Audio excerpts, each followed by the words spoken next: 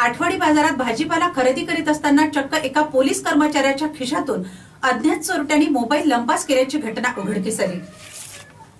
यादव हरिभाऊ हांडे राहणार यवतमाळ असे मोबाईल लंपास झालेल्या पोलीस कर्मचाऱ्याचे नाव आहे. ते यवतमाळ ग्रामीण पोलीस स्टेशन येथे कार्यरत असून दैनंदिन खरेदीसाठी ते आठवडी बाजार येथे गेले होते. दरम्यान तीस जानेवारीला रात्री नऊ वाजताच्या सुमारास त्यांची नजर चुकवून शर्टच्या खिशातील नऊ हजार रुपये किमतीचा मोबाईल लंपास केला. पोलीस कर्मचारी जर सुरक्षित राहत नसतील तर सामान्य नागरिकाचे काय? असा प्रश्न या प्रकारावरून विचारला जात आहे. घटनेनंतर त्यांनी अवधूतवाडी पोलीस ठाणे गाठून या प्रकरणी रिसर तक्रार दिली. त्यावरून अज्ञात चोरट्याविरुद्ध गुन्हा दाखल करण्यात आला.